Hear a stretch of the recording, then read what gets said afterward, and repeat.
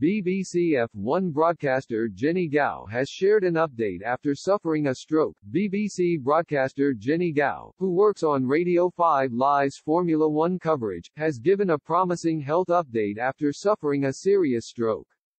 Gow revealed two weeks ago that she had suffered a stroke just after Christmas, stating that her speech had been most affected and that she was finding it hard to write. Taking to social media, Gow wrote, Hi everyone, been quiet the last few weeks, this is because I suffered a serious stroke two weeks ago, my husband is helping me type this, as I am finding it hard to write and my speech is most affected. I am desperate to make a full recovery and return to work but it might take some time. Thank you to the medical teams at Frimley and St. George's and my family and friends who got me through the last fortnight X.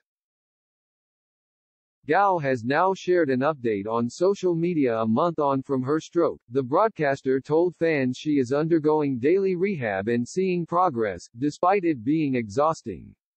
A month ago today I collapsed with a stroke. Gow wrote, with a lot of help from the NHS, friends and family we are finding our feet in this post-stroke world.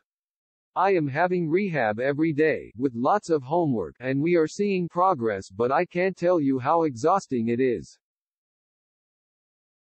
Gow also paid tribute to her husband Jamie Coley and her daughter, adding, a final mention to my daughter and most importantly the husband, at Jamie Coley 396 without him, I might not be here now.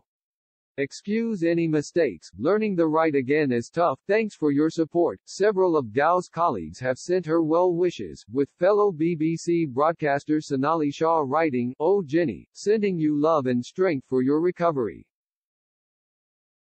One day at a time sending you lots of love XX, added presenter Nicola Hume, while racing driver Alice Powell wrote, Keep strong hun, you can do this.